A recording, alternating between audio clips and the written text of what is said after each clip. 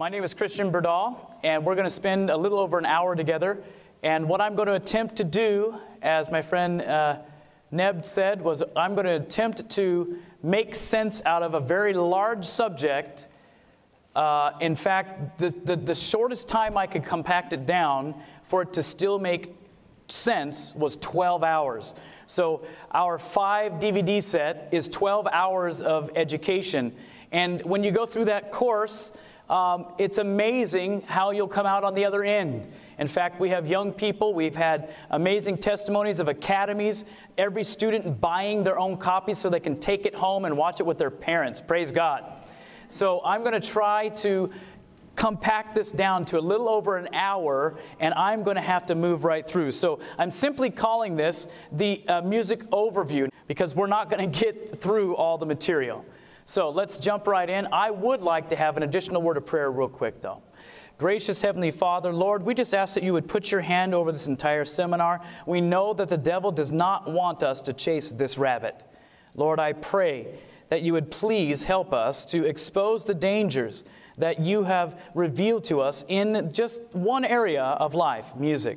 And Lord, I ask that you would bless us with the Holy Spirit. Even the samples that we listen to, help us to be educated by them and not entertained. In Jesus' name, we plead for the Holy Spirit. Amen. So, a couple big questions in the Christian world. And one is Is music moral or amoral? So, there are proponents on one side saying, doesn't matter what we listen to, music is amoral. Others say, no, wait a minute, music is moral and it does matter what we listen to. So are both sides right? The reality is, no, they're not. Another big question that we have is is it just the lyrics that matter most? Or is it the music bed that matters most? So we have two main questions Is it moral or amoral?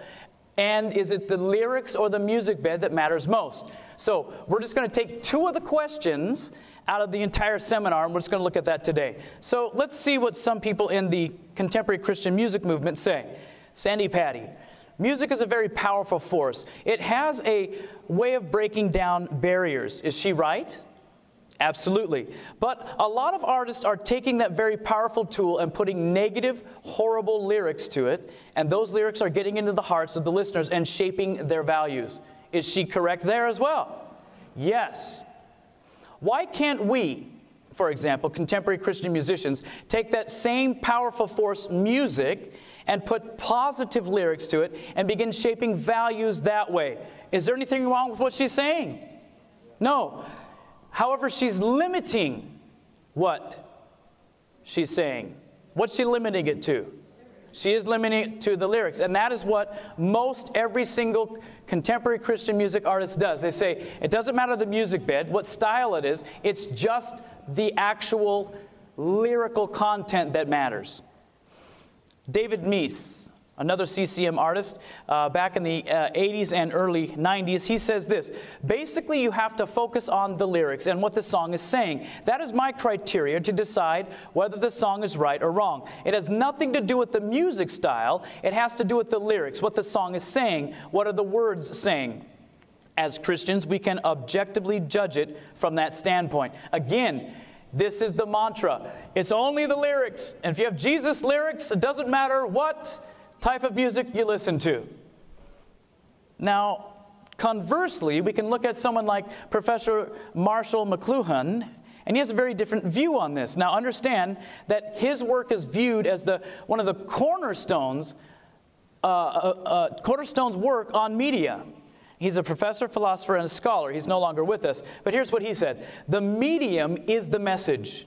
That is to say, the music, its melody, harmony, and rhythm, all by itself, disposes a man to virtue or vice by moving the emotions. Okay? So we have one side, the Christians saying, no, it's just the lyrics. Then we have uh, academia and science saying, no, it's the way that the actual music, the melody, harmony, and rhythmic structures alone move the man. And they're even using the word virtue or vice by moving the emotions. Therefore, the way in which they move the passions should serve as a principal basis for judgment on whether any given piece of music is good or bad. Does that make sense? So what he's saying is it has nothing to do with the lyrics. It actually has to do everything with the music bed. Brain specialist Dr. Richard Pellegrino said, he said that he declared that music had the uncanny power to, quote, trigger a flood of human emotions and images that have the ability, listen, to instantaneously produce very powerful changes in emotional states. So he's saying instantaneously music can change emotional states. Take it from a brain guy. In 25 years of working with the brain, I still cannot affect a person's state of mind the way one simple song can. So what he's saying is the music is so powerful, I can change, as a scientist, I can change the emotional state of a person quicker than if I go through even a therapy session with them. Maybe they're sad and depressed. Instead of talking for an hour and spending $150, let me play a happy song. I can change your emotional state like that. And that's powerful. In fact, music is medicine, and we'll get into that a little bit as we progress. So, can music alone influence the listener? Let's do an experiment. I'd like you to close your eyes in just a moment. And when you close your eyes, I want you to listen to the music, to the piece of music I'm going to play. And then when we're done, I want you to raise your hand and tell me as I call on you how that made you feel. Are we ready? Okay, close your eyes.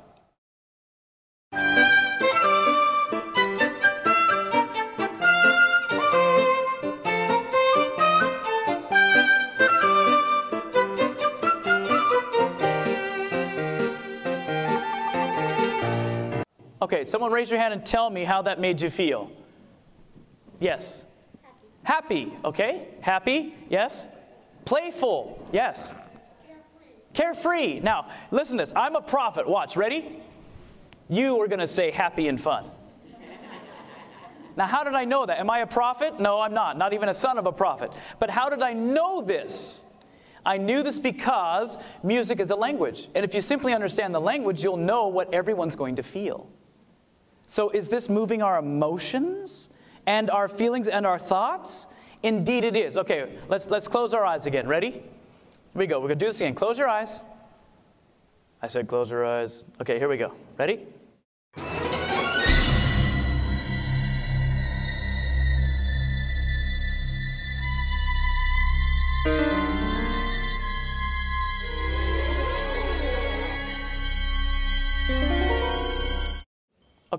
Raise your hands. How'd that make you feel? Yes. Unsettled. Unsettled, yes. Chills up and down your spine. Yeah, you and me both. Yes. Cautious, yes. Sad. Anyone else? Yes. Something bad was going to happen. Isn't that amazing? From young to old, we're all going, ee! How'd that make you feel? Fearful. Look at, isn't that incredible that we all knew that that was eerie, it was scary, it was fearful, that something bad was going to happen. I'm sorry, what lyrics told you to feel that? Hmm, that's interesting. There's no lyrics. You see, music is a language and we respond to it. What's interesting is, I, we don't have time to get into it, but if you go around the world, and they have, when you look at color and listen to music, everybody responds, neurologically speaking, identically. Now, emotionally, we might respond a little differently, but even pretty much, not exclusively, pretty much universally, everyone even responds emotionally the same to music. Isn't that amazing? One more, ready to go. Here we go. Close your eyes. One more.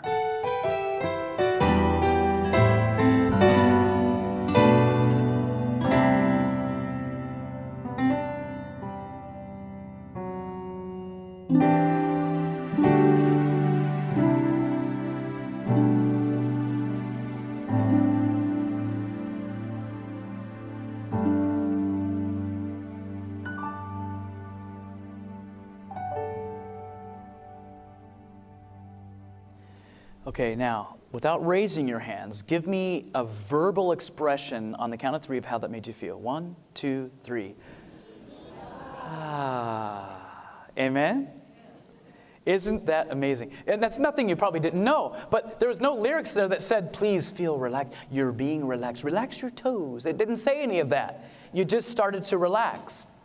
And so, neurologically speaking and physiologically speaking, we react largely the same way peaceful, tranquil. Dr. Norman N. Weinberger, professor of neurobiology and behavior at UC Irvine, his research confirms that, quote, music can rapidly and powerfully set moods and do so in a way not easily attained by other means. Now, what's amazing is science is finding out wow, music is so powerful. It can set moods and trigger an, a, a flood of emotions, even like that. Now, let's bring it all together. The question is were your thoughts being impressed and influenced by the music? Yes or no? Yes. Were your feelings being impressed by the music? Yes or no? Yes. Let's type together with the Spirit of Prophecy statement. Review and Herald, April 21, 1885. If the thoughts are wrong, the feelings will be wrong. And the thoughts and feelings combined make up the what? Moral character. Okay, did you catch that? You see, what that's saying is the thoughts and feelings combined make up the moral character. Therefore, if we're listening to things that shape our emotions and our thoughts, therefore, music is very moral. Amen? It's really that easy.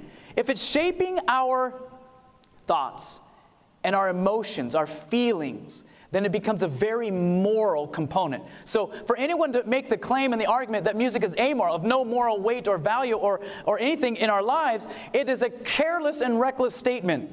For those who are educated on the subject scientifically and biblically and by the spirit of prophecy, then we know that that statement is not true. Music is very moral.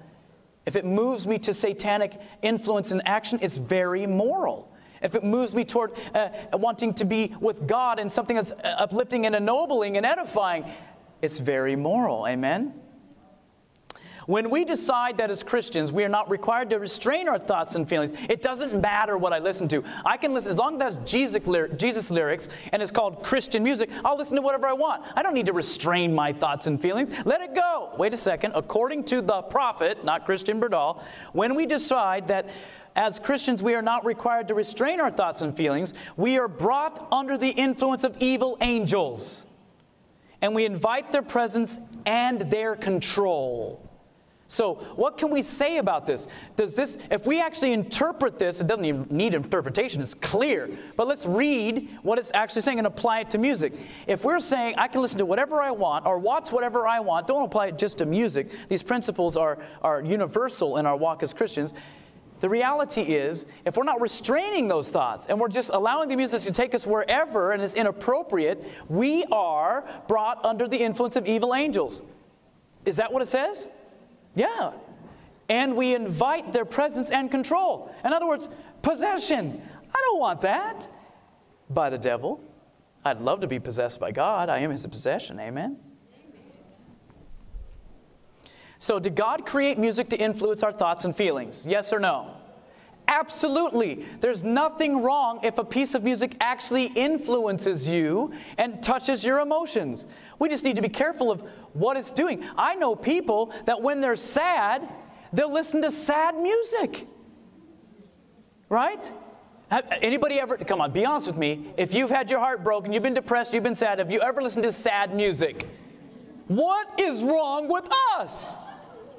Wouldn't you think the antidote is what we should have? Happy. If you're sad, listen to happy. Amen? But we're like, no, misery loves company. Amen? And the little poor young ladies or even older ladies like, oh, he broke my heart and he stabbed my heart with a knife. And then we listen to music and go, put 10 more knives in.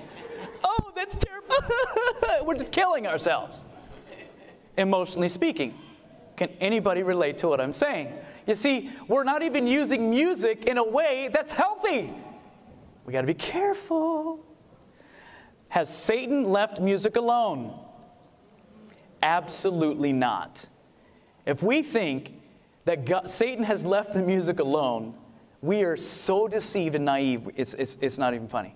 The reality is, the devil has not left music alone. He's gotten in and he's messed with a whole bunch of it. The Enjoyment of Music, an amazing book um, written by Joseph uh, Machlis. Here's what he says Rhythm is the element of music most closely allied to body movement, fleshly, carnal, to physical action. Its simpler patterns, when repeated over and over, which is exactly what rock does, can have a hypnotic effect on us. The power of sound They've also shown, study and research has shown, that driving drum rhythms in excess of three or four beats per second will put a, the brain into a state of stress, regardless if the listener likes or dislikes the music. When the brain is in a stressful state, so it doesn't matter that maybe emotionally we're responding to this music. Yeah, we like how this, yeah, oh yeah, you know, but our brain is actually being assaulted, okay? It's saying, regardless if the listener likes or dislikes the music, when the brain is in a stressful state, it will release opioids, a group of hormones that function like morphine to help return itself to normal equilibrium. So what's happening is where the brain and the physiology that we each have is sensing that it's being uh, assaulted and agitated. And as a result, the two hemispheres, if you will, it, this is actually what happens, come out of balance and they're agitated one with another. The body's like, whoa, what's, what's, what's attacking? What's, what's assaulting us? And so it releases this hormone that acts like morphine. And guess what happens? Ah, ah, okay. So even if we're listening to hard music, we're actually getting a morphine hit. In fact, that's what happens. These opioids, when experienced often enough, can be addicting. And the listener seeks for the quote high again. This is why listeners tend to move from less to harder music. It starts with soft rock, and you get that, oh, because it's still agitating. It's soft. No, fit, maybe emotionally and orally we're saying, oh, that's softer music. But neurologically speaking and physiologically speaking, it's actually still perceived as an assault. The brain doesn't like it. And there's reasons why, which we can't get into today, but we get into it in the 12 hour version of the seminar. So, what happens is you get this stress and, and we're being assaulted and we release this morphine, this, this, these opioids. So the problem is what happens is over time, we become addicted to this feeling and we go from less music to harder music to get the same effect. On top of this, the steady drum rhythms release in the body gonadotrophins, which are sex hormones, which enhance sexual arousal. Now, as a Christian, should we be careful with what we allow into our bodies. Let's say you could take a drug and it enhanced sexual arousal. There are some out there. Now, if you are a single man, would it be wise for you to be popping those pills? Yes or no? No. If you're a young person, would it be wise to let your teenagers pop the pill and they walk around sexually aroused? Guess what? Music, wrong kinds of music, is the pill. And if we're listening to the wrong kinds of music with the heavy drums and syncopations and the rhythms, which we're going to get into in just a moment, it will release not only the, that, that opioid uh, and uh, have that morphine hit, it will also release the gonadotrophins. So here we have young people who are saying, keep yourself pure, but we allow them to listen to stuff that imbues them chemically with sex hormone. It's, it's, music can be your best friend or it can be your worst enemy. Are you getting that? Does that make sense? Okay. Continuing on. Loud booming bass music has a similar effect, and it's no wonder that adolescent males prefer these types of music. They're either stimulating a release of brain chemical, stimulating hormones, or both. Eh, my children, 12 and 14, my children don't get to listen to this junk. No way. It's hard enough to be a Christian in this 2012. It is. Have you figured that one out? It's tough. It's, it's much harder to be raised as a Christian today than it was just 10 or 20 years ago. I mean, you realize 20 years ago, there's no internet. Now, with my smartphone, I can look at and, and listen to anything and everything I want right through the airwaves. The prince of the power of the air waves. That's what the devil's called. Now, music serves a purpose. This is important to put into our minds. Messages to Young People 291. The history of the songs of the Bible is full of suggestions as to the uses and benefits of music and song. Rightly employed. That means music could be not appropriately employed. Amen? Rightly employed, it is a precious gift of God. Designed by a designer, and his name is Jesus Christ designed to uplift the thoughts to high and noble themes, to inspire and elevate the soul. So, if we're listening to something that goes against the original design that God had planned, then we're using music in a way that He never planned for us to use it. Make sense? So, we're going to do a quick little history, very quick history. We're going to start in the 1450s, we'll go to 1960s, and we're just going to be done with it. Normally, in the seminar, we spend three hours. I'll spend about eight minutes with you on our history, but we spend three hours going through an audible history from 450 BC all the way through to 2012. And yes, we bring in all the Justin Biebers and the, and the Taylor Swifts and all these, these new artists that are out here. And we, we go through it methodically. And I'll tell you what, it's funny because each genre of music, I see the old people when we get to the 40s or the 50s, they're like, oh, hey, and they're pumping each other. You know, I remember that song or whatever. And we get to 60s, 70s, and then you get into the 80s and you see people my age going like this. And then you get into Justin Bieber and like, oh, no, don't play that now. And they're all going like that with each other. So this music seminar is going to step on everybody's toes. Just let you know, including mine. So let's look at the Renaissance real quick.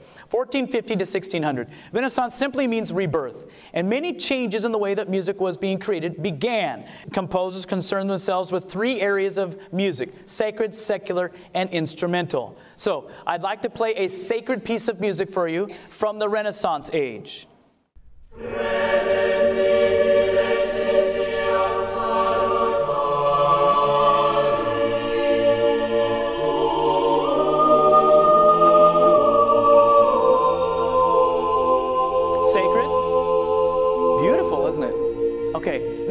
On. You got seatbelts? Put them on. We're going to play some secular music from that age.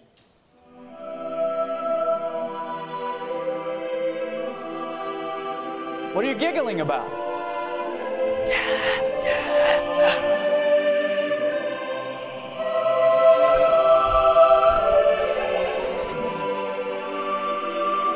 No. That's secular music from Renaissance time.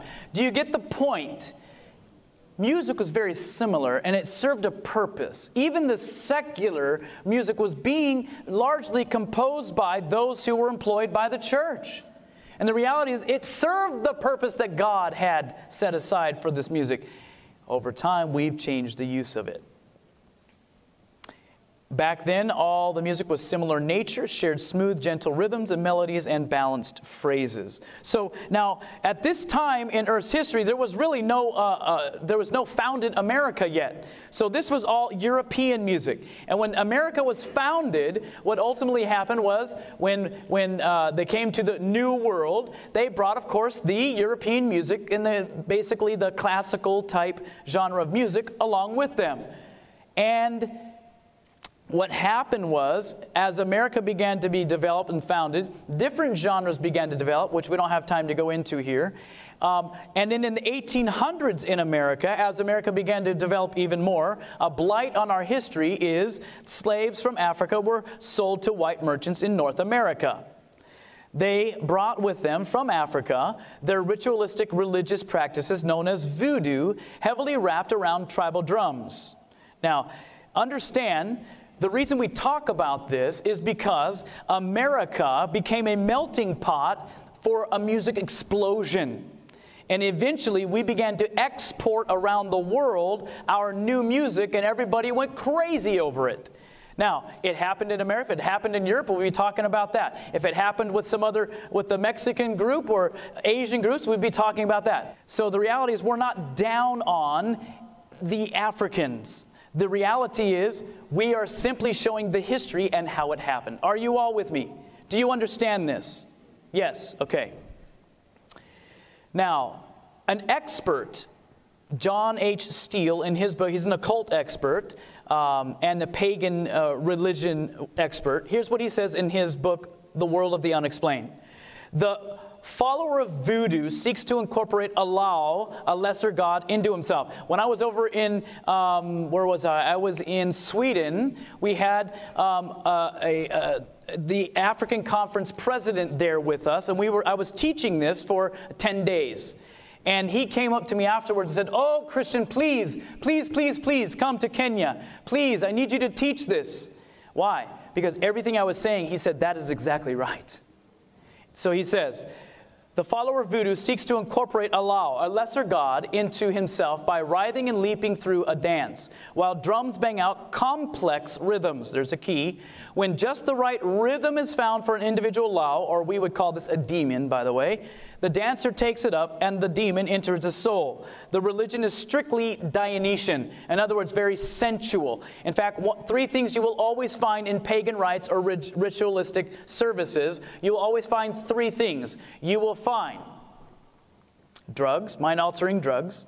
You will find polyrhythmic music or complex rhythmic music, and you'll always find sex. Sex, drugs, and rock and roll. You ever heard that term? Interesting. Anyway, so what happens is, in fact, do you know where rock and roll got its name from? You happen to know that? That little tidbit? Uh, does it have great, healthy, wonderful roots? No. You know what happened was eventually this explosion of this blending of some American uh, Caucasian quote unquote music and this new African music started to come together and they started to develop blues and rhythm and blues. And before you know it, we, we birthed into this thing that was called rock and roll. Well, there was a DJ that, that came up with the term rock and, roll, rock and roll. And what basically he found was these young people were listening to this new kind of music, this new style of music, and it was causing them to engage in things inappropriately, intimately, sexually with their significant other in the back seat of their parents' car, causing the car to rock and roll. Hello? Little bit of information. I got to move on. Dr. Richard Hodges, he continues on. The drummers often shuffle their feet or sway their bodies in dance like motions to assist them in maintaining contact with the main beat, especially when the rhythm is syncopated. We spend a lot of time on this as well in the seminar, uh, the full seminar, but I, will have to just give you a quick little verbal illustrations right now. Syncopation is such a, what's that mean? Listen, I'm going to tell you first of all, syncopation is not of the devil. Okay? Some of you conservatives can throw me out, but hear me out before you do. Syncopation is not of the devil. Syncopation is like seasoning to a meal. And if you, who likes seasoning on their meals? Absolutely. We love that, right? But who likes dumping the whole salt shaker on their meal? No takers. Why? What does it do to the meal? Ruins it. Syncopation in a song is appropriate only in little dashes here or there if we use it at all like seasoning a meal. Now, what is syncopation? Well, in normal music, if we had, say, common time or 4 4 time, and the accent was on the one beat, we'd have something like this Jesus loves me, this I know, for the Bible tells me so. That is 4 4 common time with the accent on the one. In fact, if you even wanted to play a snare drum and wanted to beat that snare drum, it would be fine. Christian Berdahl just said drums are okay? Yep. I did. At ASI, uh huh. I did. But I'm also educated on the subject, and you can't refute what I'm about to tell you. So, the reality is, you can play like even a march type music, right? A march, a drum march, a cadence. Bum, bum, bum, bum, bum, bum, bum, bum, bum. It's on the one and on potentially the three. Jesus, okay, Jesus loves me, this I know, for the Bible tells me so. Like a little, a little kid would sing it. Jesus loves me, this I know, for the Bible tells, right? That's on the one and the three. It's natural. Now, watch what happens if instead of going, Jesus loves me, this I know, all we have to do is shift it from the one to the two. Watch this. Jesus loves me, this I know. Oh, for the Bible tells me so. Oh, little ones to him belong. Did, I mean, did you hear that difference? Let's shift it to the three. Jesus loves me, this I know. Oh, for the Bible tells me so. Oh, little ones to him belong. Let's shift it to the four. This one's a little harder for me. Jesus loves me, this I know. Oh, for the Bible tells me so. Oh. So all we did was went from Jesus I'm sorry. When you do so many in a row, it gets a little bit difficult. But the reality is, we shifted the accent from the one and three to either the two, three, or four. And when you start messing with all of that, that is what we call syncopation. Now, in one of my songs on my holiday album, I have Joy to the World on there. And there is a spot where we have syncopation, but it's a dash. The problem comes in when what we want to do is, because we can add interest and energy to a piece of music if we put a little here and a little there. Does that make sense? Please understand that. But what the devil has done is he said, hey, let's take the syncopation, which short circuits the prefrontal cortex, the frontal moral lobe, puts you in an alpha brain pattern, and whatever information's coming in goes in without being discerned at the time. Did you know that? The polyrhythmic elements actually short circuit the frontal part of the brain. So whatever information is coming in, and even when certain movies are edited and TV programs are edited, you will go into a short-circuited pattern. Uh, uh, your, it's not short-circuited, but that's the easiest way to describe it. And what happens is you go into an alpha pattern, and you're not critically, dynamically analyzing incoming information. So how scary is that if you're listening the wrong or watching the wrong kind of stuff, and you're sitting there going, uh, it's just going right in, changing our what? Character. So the drummers often shuffle their feet, and we just read this, when the rhythm is uh, incorpor- uh, syncopated. Now, let's tie this together. So, the syncopation is messing with the accent. I know this is a quick explanation. It's almost like we're opening a bigger can of worms. Get the DVD, it'll explain it for you. It's not a sales pitch, it's a tool. Amen? Amen. All right. During these rituals that still take place in the Congo and Yorubaland, the intricate layers of multiple rhythmic drumming are considered the primary source of what? Heavenly power? Occult power. So what they've discovered is it is the multiple, the polyrhythmic levels and, and complex rhythms that are being banged out. And friends, it doesn't matter what, I have a slide that I usually show, I can show you around the world, from Japan to Europe to America, native Indians, we, in those pagan, the part of the pagan cultures, every single one of them had the polyrhythmic elements, no matter where it came from. So it's, it's not an African problem, it's a worldwide problem. Amen? It is. Now, we're going to listen to some actual voodoo samples. This is actual voodoo right here. Ding, ding. Hear them all? All those layers? Okay, here's another one little more modern. Still voodoo, though. We're to come back to this one. Right? How about this one? Now, this is modern, right off of iTunes.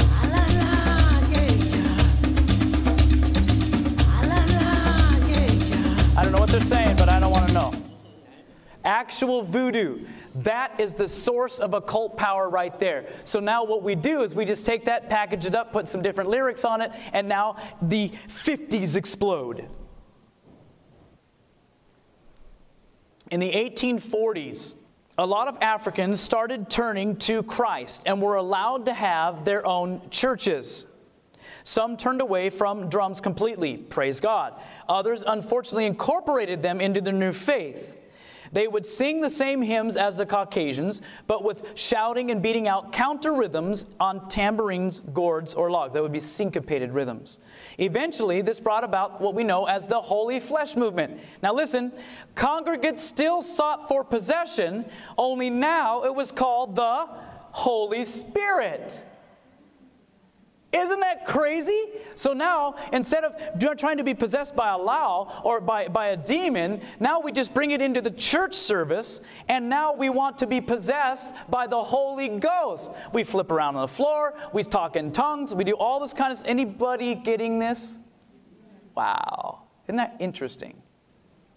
It's the same as the pagan worshipers. It's just now done in God's house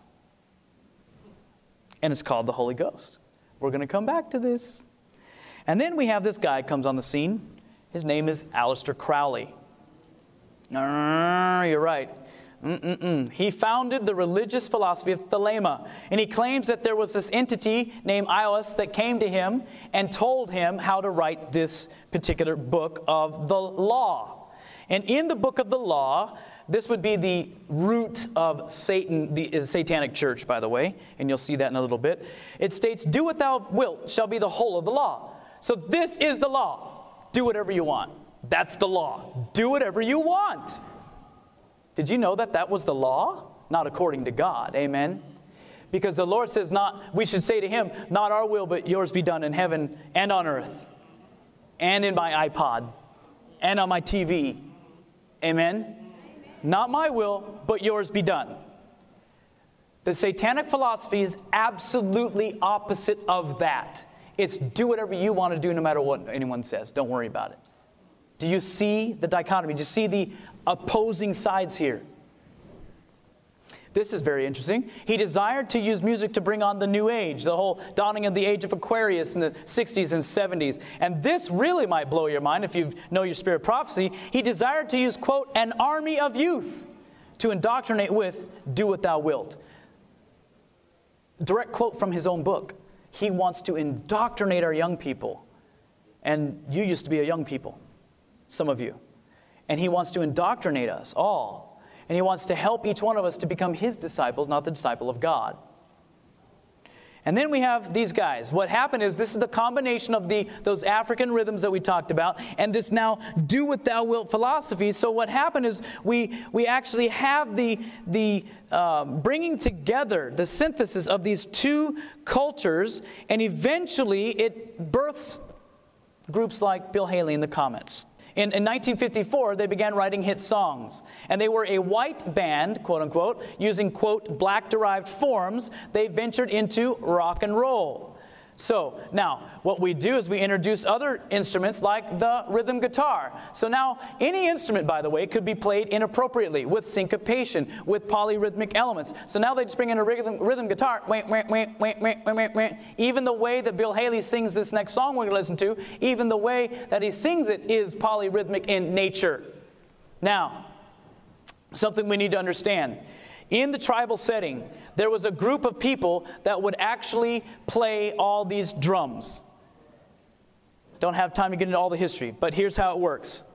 Eventually, a contraption set was developed that allowed, we know it today as a trap set. It allowed one person to sit on what's actually called the throne, yikes, but sit on the throne, and they could actually, with four limbs now, play what it took a tribe to play before. Don't miss that they could play all the polyrhythmic syncopated beats with one person now on a trap set. So what they could do is get us to the place to where we, we're seeking that higher experience now, even in our music, and we think that we're, we're going somewhere that's really amazing, and we don't realize that, oh, we're, we're not going somewhere, we're going with someone that's possessing us. That's heavy, I know, but you need to study it out. The reality is, this can be a very dangerous thing, friends. It can also be the most amazing blessing. The devil is working the most where he can snag the most people. So, in the 50s and 60s and 70s, music had become altogether different than what God had intended. The drug scene, the rebellion, and total disregard for any sort of authority was in full bloom, and the music ventured openly into eventually glorifying the devil. We'll get to that in just a moment. So, one, two, you might have heard this before. rock. Five, six, Listen to the polyrhythmic elements rock. coming. 9, 10, 11 o'clock, 12 o'clock, rock, we're going to rock around the Listen. clock tonight.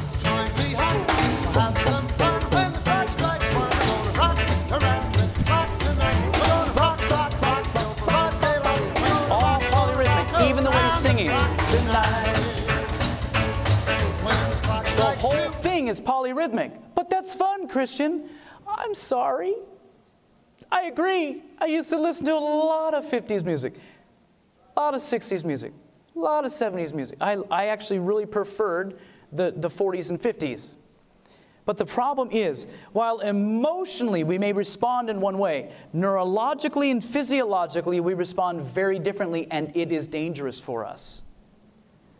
So, Do what thou wilt is in full bloom. We'll decide what goes on. We will decide what we do, what we smoke, what we listen to. Um, we'll decide how we dress, how we talk, how we act, where we go. And do what thou wilt eventually became do your own thing. You see, it's the philosophy of the devil, just a little bit different verbiage. Isn't that interesting? The youth became emboldened in this revolutionary rebellion. Do what thou wilt permeated this era especially we got into the 60s and into the 70s. Before you know it, you didn't even, you, didn't, you were questioning anybody and everybody, and you weren't following anyone. And some of the satanic, um, what would be the word, elements in certain groups were hidden. For instance, in the Beatles, which we don't have time to get into, we spend quite a bit of time with the Beatles. But the reality is, the Beatles were offered up by the same music company as the Rolling Stones. The same company, same label, served up both groups. Here's one platter. If you're in Open Rebellion, you want to listen to this kind of music, here's the Rolling Stones. But if you're the good kids, you can listen to the Beatles, because after all, all they want to do is hold your hand, right? In fact, it starts out they're using, they're even wearing uh, black suits and black ties. Man, they had, they had dress reform going on. And they just, wanted, they just had fun music, right? Well, their music started to turn very dark as well. And we have a lot of information on the Beatles, and I'm sorry to say, they don't pass the test. But let's listen to this. Now, this wouldn't take much imagination to wonder where the Rolling Stones are coming from because their, their title song on this album is entitled Sympathy for the Devil. Does the devil need sympathy? No, he doesn't at all. Now, follow along with these lyrics and listen to how the song starts out. You tell me what this is.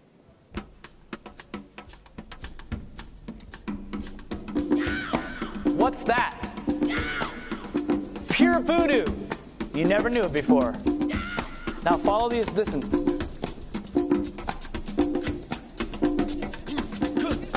Okay, bye-bye prefrontal cortex.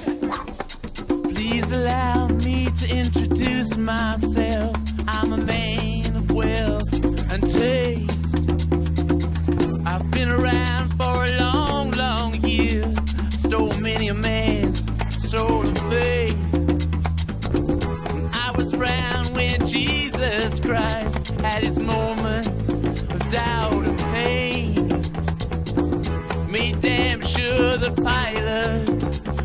his hands and sealed his face.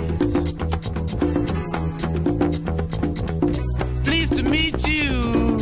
Hope you guessed my name.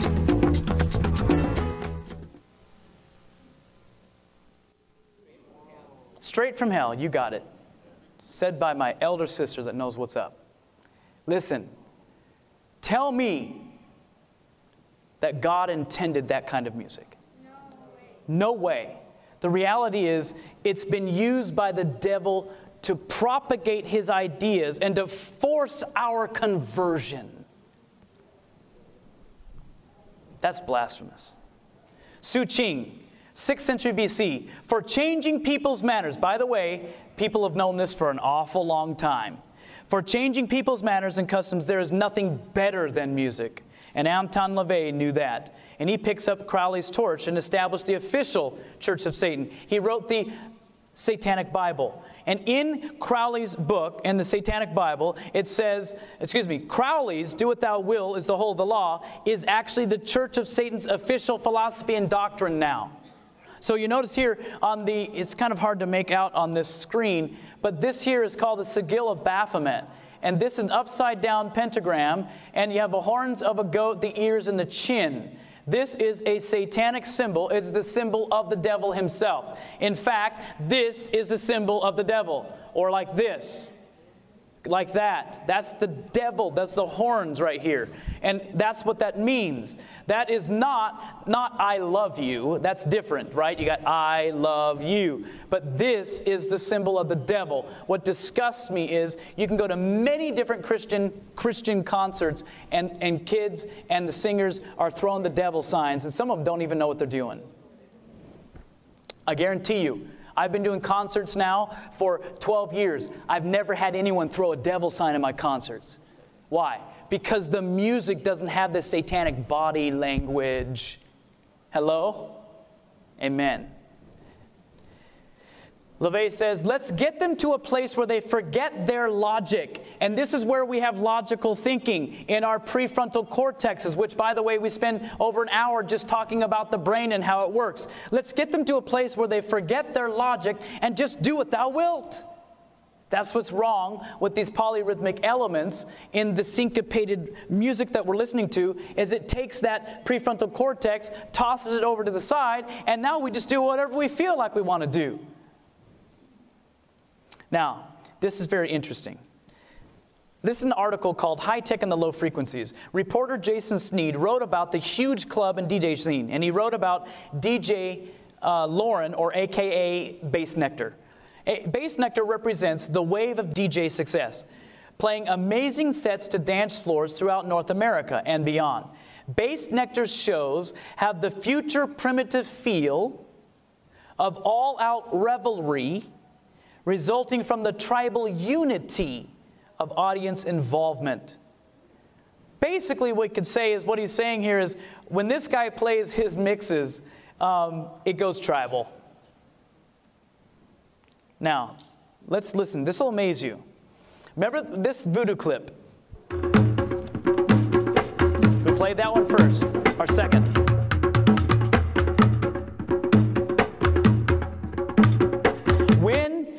I was putting this seminar together with the Lord's direction, I have a, a piece of uh, audio editing software called Pro Tools. And I had one track, and I put in this clip right here. And this is bass Bassnectar's music.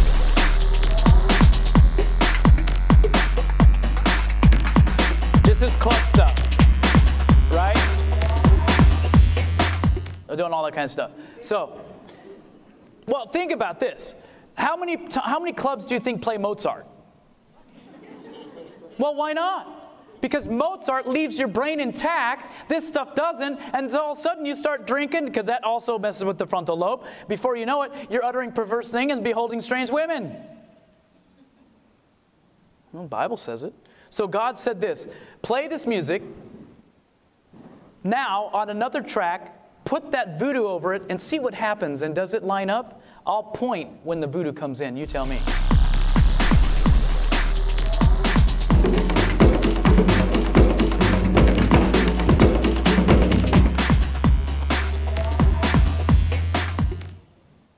Do I need to say any more? That's voodoo laid over modern voodoo.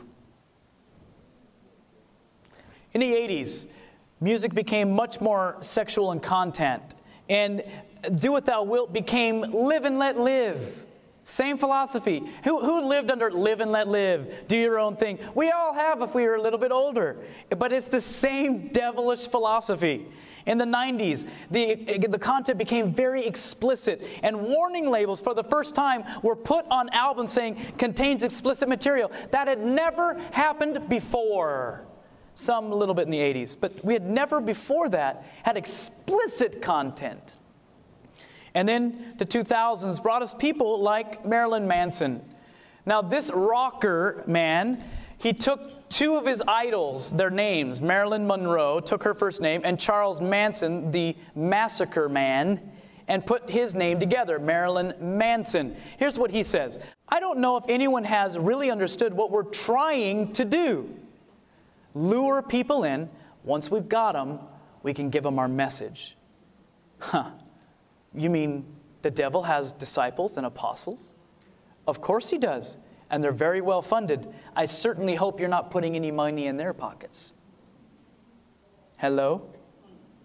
Put it in the Lord's storehouse. Hopefully, I'll be remembered, he says, as the person who brought an end to Christianity. If somebody kills themselves because of our music, then that's one less stupid person in the world. He also goes on and says, Raise your kids better, or I'll be raising them for you. These are direct quotes. You know, 1 Thessalonians 5.21 says, Prove all things, hold fast to that which is good, abstain from every form of evil. Now, would death metal be a form of evil? Oh, that's an easy one, right? Of course, death metal, yeah. How about Christian death metal? Is that a form? There is that, by the way, about make your eyes bug out of your head. Christian death metal? Christian death metal. Christian death. Anybody see a problem with this? It's called an oxymoron, exactly. It's like jumbo shrimp, right? Jumbo shrimp. It doesn't work. Military intelligence. No, I'm just kidding. But the, the, the reality is this it doesn't work. Christian death metal, Christian rap, Christian screamo, Christian techno. What? But, friends, the devil knows that we are just silly enough, just naive enough, just like a whole bunch of little sheep, ah, ah, ah, just following around each other, got right off the cliff. But he knows that if he just simply puts a nine letter word in front of almost anything, we'll just buy it hook, line, and sinker. The nine letter word is Christian. Well, what about Christian pornography? Would that be okay? How about Christian alcohol? That surely would be okay. It's Christian. What's amazing, we go, well, that's ridiculous, Christian. It is. But somehow, someway, music gets a pass. Because who are you to judge me what I'm listening to? Yeah, alcohol, you know, some of us go, yeah, that makes sense. But to actually say that you shouldn't be listening to a drug that can cause you to have same physiological, neuro- neurological reactions as taking a drug, that's just too far, Christian. Excuse me? No, it isn't. That's called let's stay away from it, and that's wisdom from God. Amen? So, what kind of music glorifies God? Well, in your little uh, packet there on the seat next to you, let me grab one here, there is a little tiny card, a business card size, in your, your catalog there. And this is a little free gift from us. Please take them with you. If you'd like some more, we have some more on the back table, and you can take them with you. Look, you can, you can put them in your wallet, put them in your purse. If you're a man that carries a purse, put it in your purse. But what you can do, or if you want, you can put it right here. That would be helpful as well, right? So we want to make sure that we're, we allow all of our music choices to go through this little tool before we allow it into our Christian ears. Amen? Amen. So we have a music test. And so we have this acronym you can see there music. Now, we have free cards for you, like I just said. And um, if we run out, you can contact our ministry at shepherdscall.com or you can call us at 505 286 5522 and we will get that to you. So, music. What does M stand for? Well, you have in your hand meaningful, not trivial. U is untainted, not worldly. S is spiritual, not carnal. Inspirational, not degrading. Clear, not confused or disguised. So, let's look and talk about meaningful, not trivial. Listen to this song and tell me if we have trivialized the gospel. This is a Christian song. Have we trivialized the gospel or is this meaningful? Yeah, cartoons What got cartoons They got start singing praise in a whole new Oh, way. polyrhythmic elements. Here's what I mean, listen close. Fred and Wilma Flintstone sing Yabba Dabba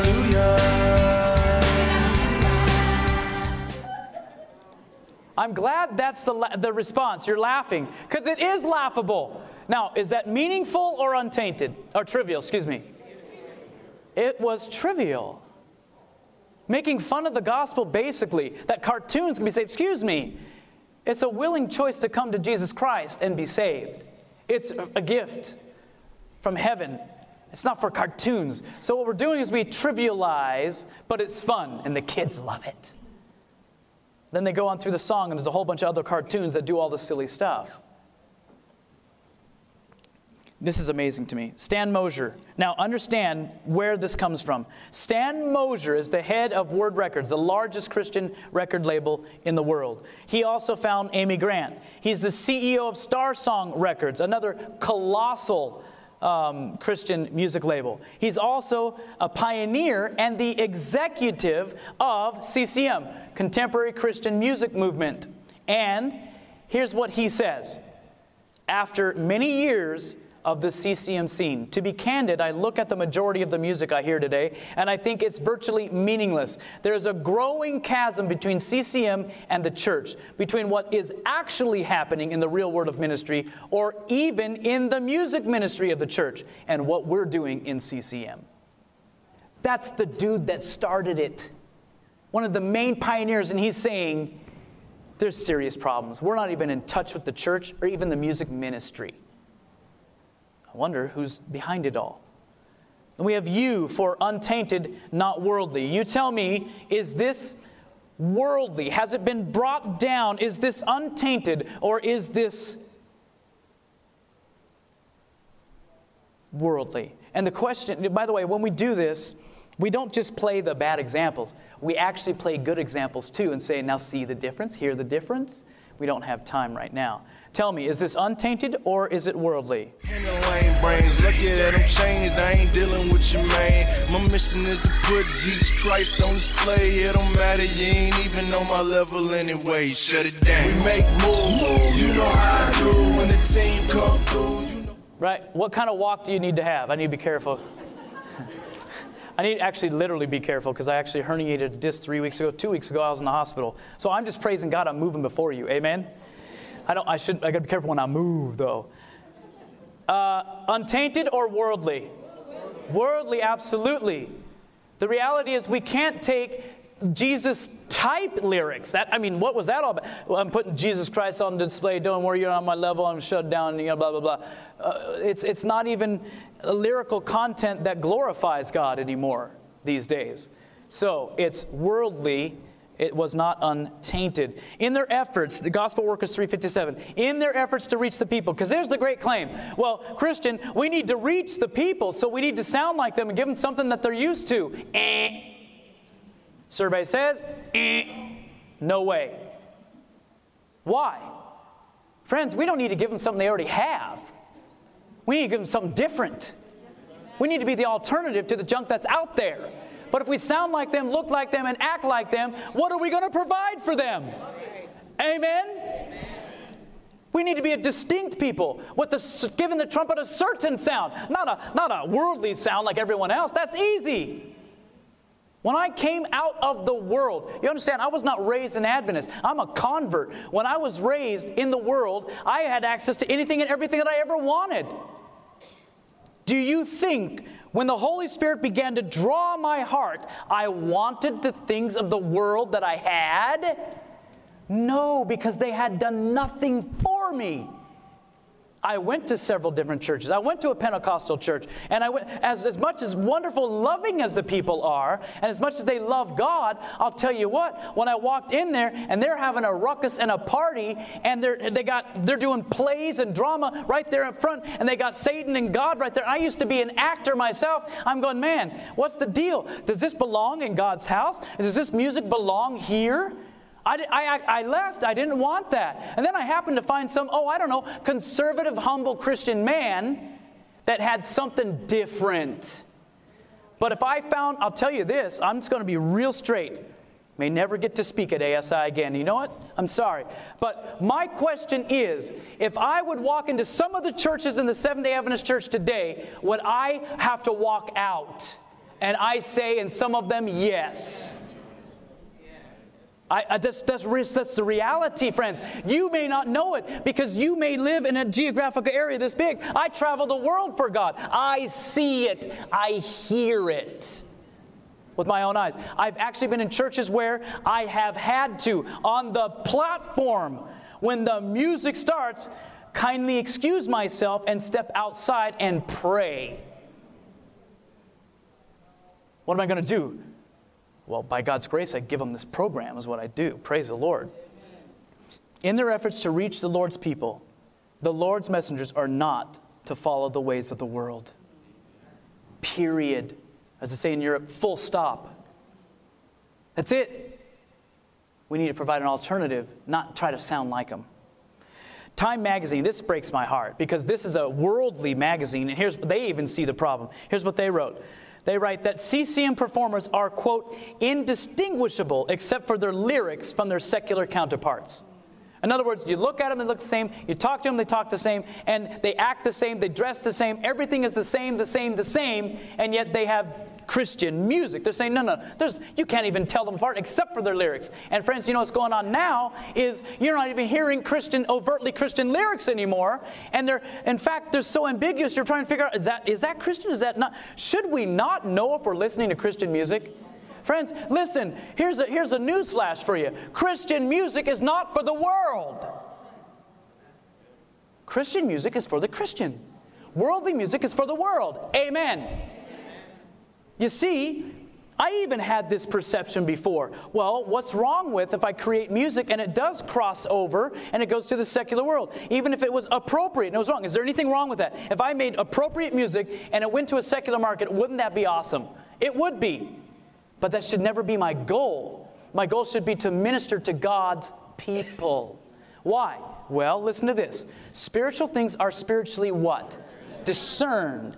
I have listened to music from the world, and when I when I woke up to all of this, I would go back and play different songs and I'd go, Whoa, I listened to that my whole childhood. I, I, didn't know that was a Christian song. Why?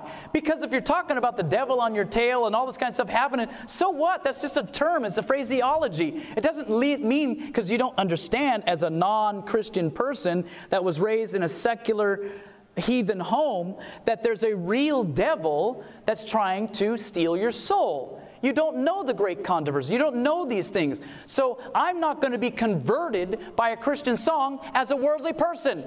Ain't going to happen unless God has already been working on that soul with the Holy Spirit. Does that make sense? So our goal shouldn't be to go and try to convert the world with our music.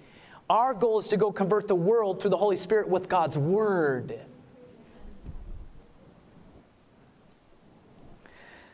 Okay, spiritual, not carnal. Here's the next question. Now, is this spiritual or is there carnality? Is, there, is it stimulating the flesh? Is it tickling the ears in a way that's intimate and inappropriate? Listen to this sample. This woman is singing to Jesus as she would a lover.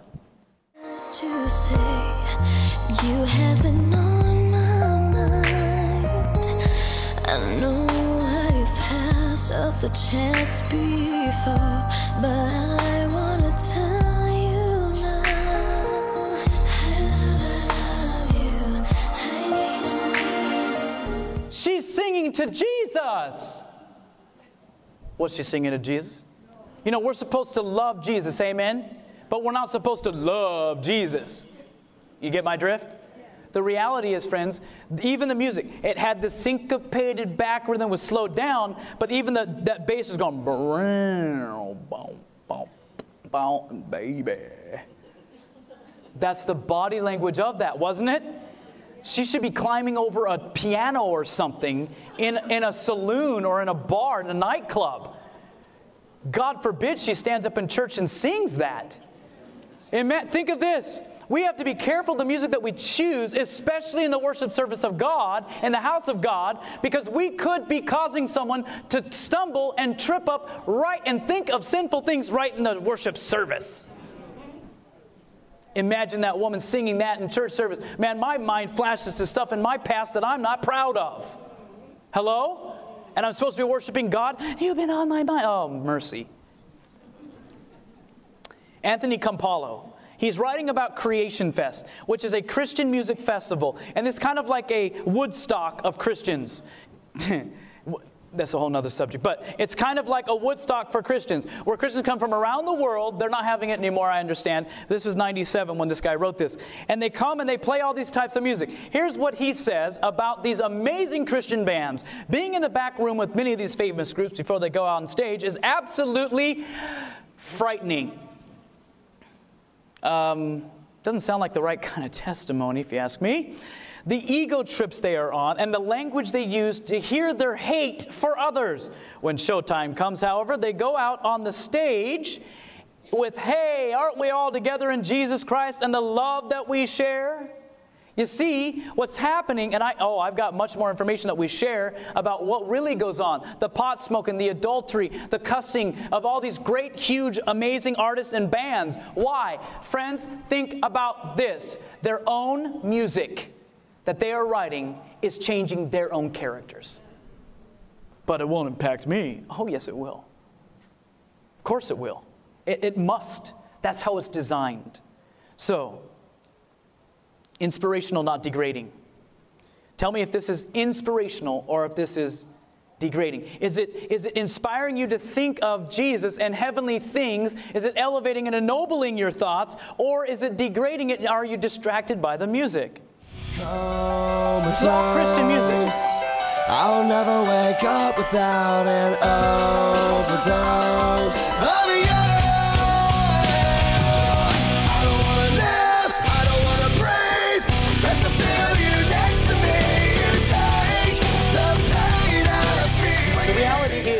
it just and it's just this hardcore satanic feeling and we're supposed to be, I don't want to wake out without wake up without an overdose of you. He's talking about drug terms and liking that to our relationship with, with Jesus. That's disgusting. In a review on a concert by Audio Adrenaline DC Talk, quote, an extremely loud and incessant heavy bass beat was the predominant trademark for both bands for the entire evening. The musicians of Audio Adrenaline stirred up the crowd as they thrashed their heads around. This is worship, right? We're praising God. The musicians of Audio Adrenaline stirred up the crowd as they thrashed their heads around and bounced around the stage to their hard rock music. There was virtually no self control near the stage. The crowd was, quote, high on the loud music. You see, what Jesus Christ came to offer was peace. What he came to offer was calm in the midst of the storm. He didn't come to create more chaos in our lives. And if should the chaos come and he allow that, he will help us through it and we can have peace even through the chaos. Amen. And so what's happening now is we just bring chaos into our iPads, our iPods, into our earbuds, into our cars. We just do it at work. We listen to it in the elevators. In fact, have you even noticed the elevator music has changed? It used to be just, you know, nice, quiet, airy music. You know why? Because people were terrified of elevators. Psychologically, they figured out let's play some beautiful music, and it helps people to feel a little more calm. And so it's you have this great, airy, wonderful music, and you're like, oh, okay, we're gonna be all right. you know, people are terrified of claustrophobic of these of these elevators. Now, I mean, three three weeks ago, I went into an elevator, and it was like. I'm like, oh no, we're going down. Something foreboding is going to happen here. Oh no, we're going all the way to the basement. Ah, no. But you get the idea. Even the elevator is music, it's a commentary on our times. You see, they used to use music to help people. Now it doesn't matter. Just come down into the pit with us. Oh, CCM Magazine editor. Now, this is the Contemporary Christian Music Movement magazine. They have a magazine you can subscribe to. I actually subscribe to it to find out what they're saying. Here's what we found John Styll, the actual editor, complained that, quote, some Christian, quote unquote, Christian, he's even saying Christian songs today are so veiled in terms of spiritual content that their meaning is lost to all but the most imaginative. 1T506 says music is the idol, which many professed Christians worship. Satan has no objection to music if he can make that a channel through which to gain access to the minds of the youth. You think the devil's alive and well? He is. You think he's playing for keeps? 100%. This is not a game. We don't get a do over. This is it. Anything will suit his purpose that will divert or distract the mind from God. He works through the means which will exert the strongest influence. So we can tie this sentence with the previous one to saying Satan has no problem using music as long as he can use it to his advantage. So it's one of the strongest means that he uses to hold the largest number of in pleasing infatuation while they are paralyzed by his power. And they are indeed mentally paralyzed. They cannot discern what is right or wrong because the wrong kind of beats and rhythms actually cause the frontal lobe to be short circuited, as it were, into the alpha pattern like we talked about. The reality is the devil knows what he's doing and he's really good at it. Oh, by the way, he used to be the choir master of heaven, knows a little bit about music. So, now what's happening in the world is that we pack thousands of people into these churches, tens of thousands of people. And here's what we do we don't lead them into a worship with God where we break the word of life and we allow the Holy Spirit to convert the soul. What we do is we allow and we, we, we allow their emotions to grab a hold of them and we feed their emotions and they feel God through the worship service. They feel God's presence. And this just goes on and on. And these, these, these cathedrals almost. They're, they're huge. And the largest one with 43,500 congregants in the Lakewood Church with Joel Osteen. What they don't show you is all the music leading up to all of it. So they have to get these people into a state to where they're going to come back next Sunday. You have to have this emotional experience. And listen, get this. It's a manufactured Holy Spirit experience. It's manufactured. It's manipulation. So you got to go back there to feel that. Wait a second. I should be able to go to God anywhere on my knees and say, Lord, I don't feel close to you right now. I believe, but help my unbelieving heart. It doesn't feel like you're close to me, but I believe. If we never give them that part where we can help them to have um, a connection with Jesus and the Holy Spirit living in their life, and that they believe even intellectually, then how are they going to get through when it doesn't feel like God is there? They're not. And so the reality is, we have to be very careful in our worship services because if we bring the wrong things in, we could be manufacturing a feeling which could be mistaken for the presence of God or the presence of the Holy Spirit. Hello? Come on now, is it coming together for you now? You starting to see this? Okay, let's go a step further, friends. What if the musical devil, which indeed he is, happens to have your ear with his kind of music? And now you believe that's the call of the shepherd. And he's calling to you, you know, the sheep hear his voice, right? But here's the problem. What if we've been listening to the wrong shepherd because it makes us feel a certain way? I believe dev- the devil is going to use I believe he's going to use music at the end of time when he impersonates Christ. When he impersonates Christ. And all of a sudden we're going to go, oh, oh, this is my God who I've waited for. And the Bible says, whoa, whoa, whoa, don't go. Don't, if he's in the desert, don't go. But wait a minute, I, am feeling the calling and I've, I've listened to this all my life. What if he happens to bring some of the greatest singers and groups around that play your favorite inappropriate music? Surely this must be God. Are you seeing the big picture here? I believe this has eternal consequences. What we listen to in our cars, what we listen to in our churches, what we allow our children to listen to, can either help us toward the Lord or help us toward self and the devil. Period. So we hear songs like this, like this that are meditative. They border on this whole idea with this contemplative prayer. By the way, all this stuff goes hand in hand. And we, we sing these songs like this. We'll sing this for 20 minutes.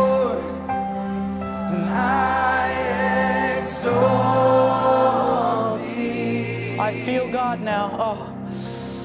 Oh. Break the trance. Listen to what he says and how he says it. You sing that to him again. I, I, I. Bye bye, prefrontal cortex. And now I'm open to receive whatever is preached into my mind. And now I feel the presence of God. Friends, at the end of time, can we trust our feelings? we must live by faith, not by sight or our emotions. The human mind shuts down. We're almost done. The human mind shuts down after three or four repetitions of a rhythm for or a melody or a harmonic progression. Furthermore, excessive repetition causes people to release control of their thoughts. Rhythmic repetition, listen, is used by people who are trying to push certain ethics in their music. And I've had people come up to me, well-meaning Christians, Christian uh, music ministries and say, What's wrong if we use this stuff, Christian? We're just going to give them the good message in our lyrics. What's wrong with this? Wait a second. Does God want to use trickery and short circuit and hypnotize you to put His truth in you? Absolutely not. We don't use the methods of the devil to, to teach the gospel of Jesus Christ because it's a willing choice. We openly and, and with great intention and with great intelligence, we say, I am choosing to serve God. Not, why am I serving God? Because you were told to. Hello? So, what we do now is we get these young people, thousands of young people, we bring them in, and they're just having this, this feeling, this emotionalism happening, and now they feel like they're feeling God. They sense that this is the presence of the Holy Spirit, and we bring them in. We have these rock concerts, and then we also take them on these things like where we have these, the song. Have you ever heard the song, These Are the Days of Elijah? Are these the days of Elijah? Yes, they are. But, friends, does that mean it's time for a big old fat party? No. It means it's to, to repent of our sins, to be converted, and to serve God with all of our heart, mind, and soul, and take it to other people. Amen? So, but yeah, oh yeah, here we go. This is a church service. Woo! Man, we're going to feel God now. Oh, yeah. Oh, yeah. Right? This is a worship service.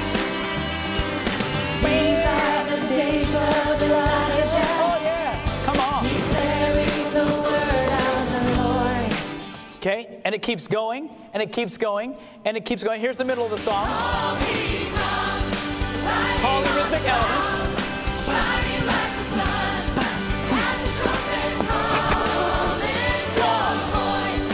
Worshiping God.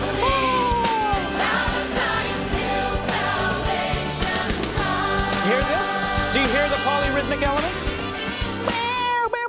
What does that have to do with Jesus? Okay, let me ask you a question. What picture of God does that paint in the mind? A holy God? No. A party God. I don't serve a party God. I serve a holy God who I am not even worthy to approach, even backwards.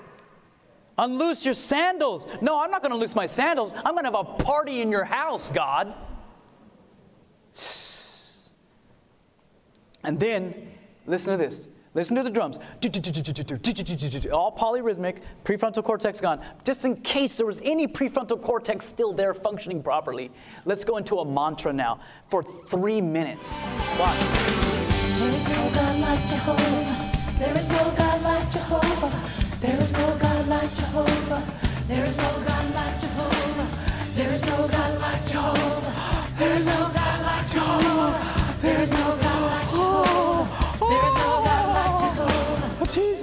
I sense you here. There's no God like you. Oh, wasn't that an amazing worship service? I felt the presence of God. What a cheap imitation. Anybody ever heard of Rick Warren? Who wrote the Purpose Driven Church and Purpose Driven Life? Here's what he says The worship has nothing to do with the style or the volume or speed of a song. God loves all kinds of music because He invented it all. If I could lay on some hands, man. Okay, I'm sorry. But here's the thing. okay, continue on.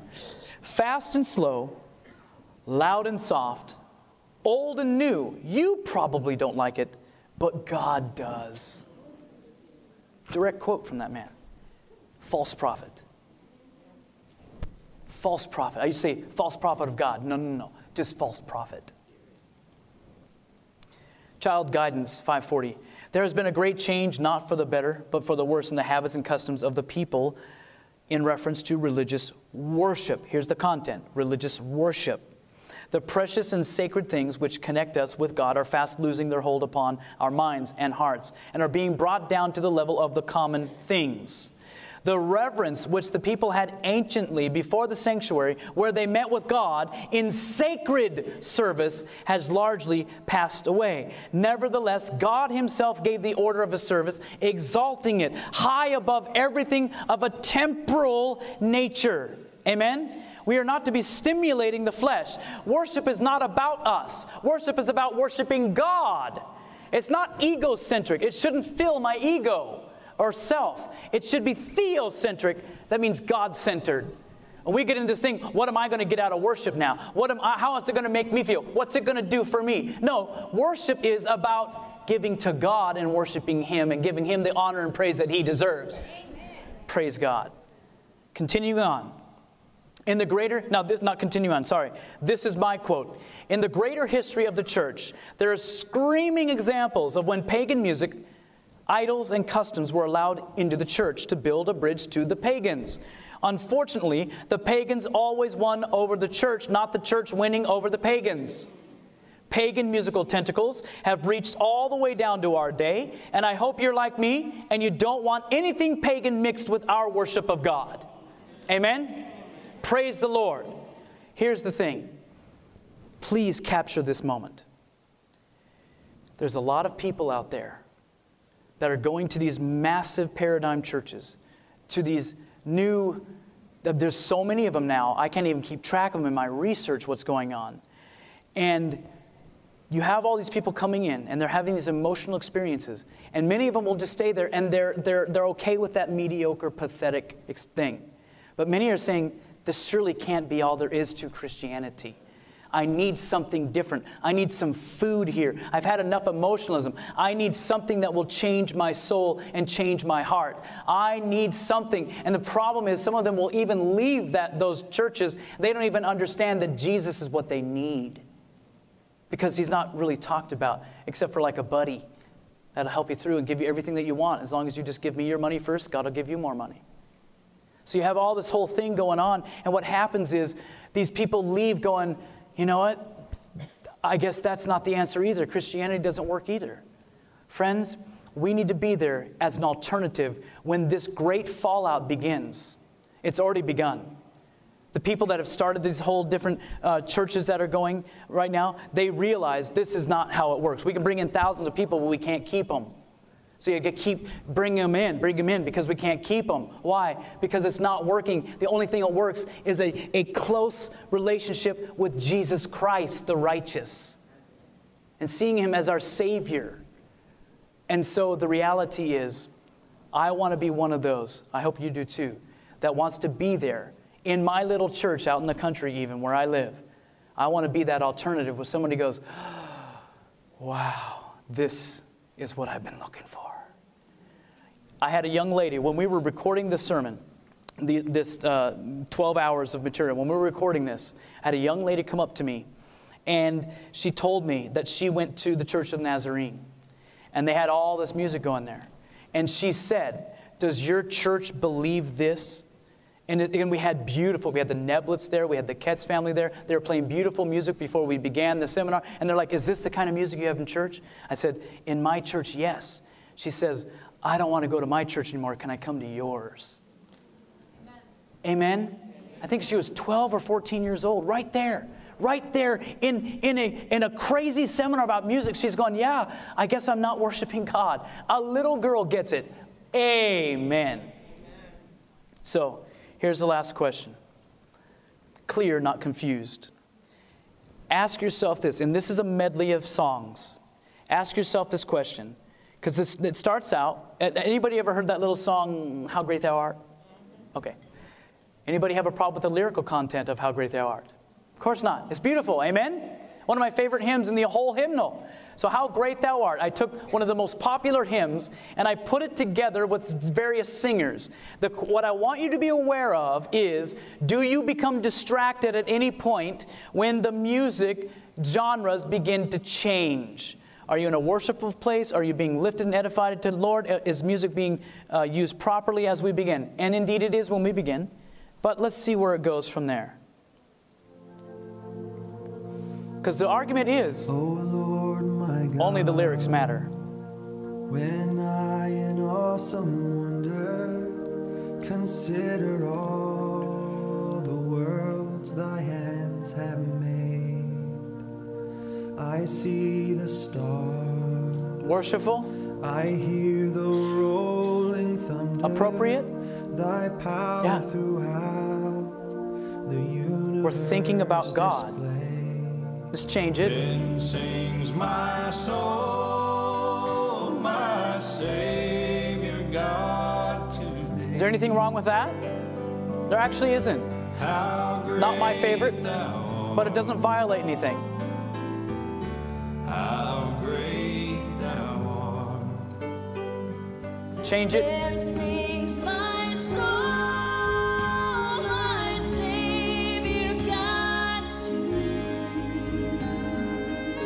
How's this how one? Huh? Not sure anymore?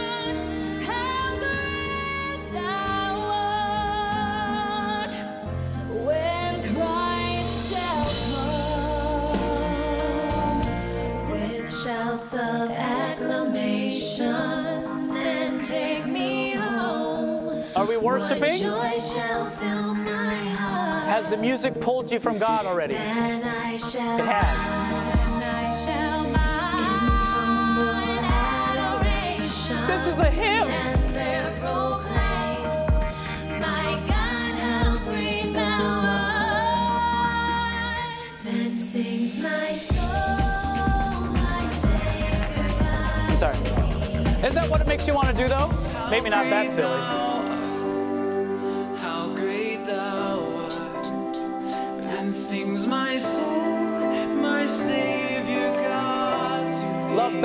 Yeah. How great thou art. How great.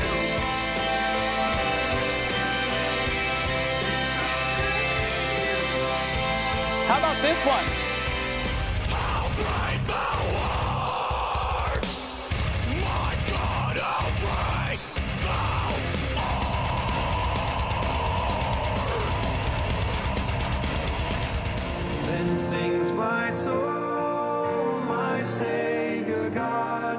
Is your heart going fast? How great thou art. How great thou art. How great thou art. How great thou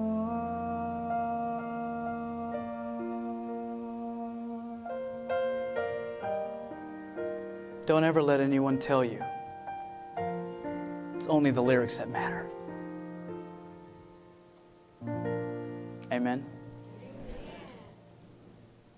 A bedlam of noise shocks the senses and perverts that which, if conducted aright, might be a blessing. The powers of satanic agencies blend with the din and noise to have a carnival, and this is termed the Holy Spirit's working. The Holy Spirit never reveals itself in such methods, in such a bedlam of noise.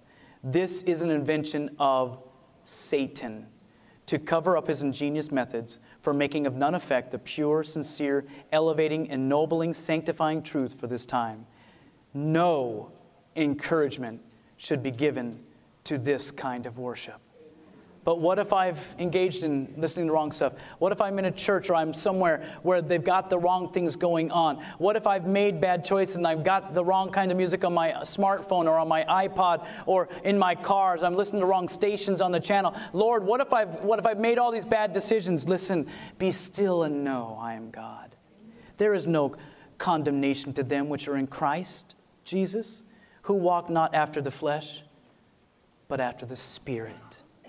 Don't you ever embrace something that's a cheap replacement for a true connection with God, the Holy Spirit being poured out in your life. Amen? Let's pray.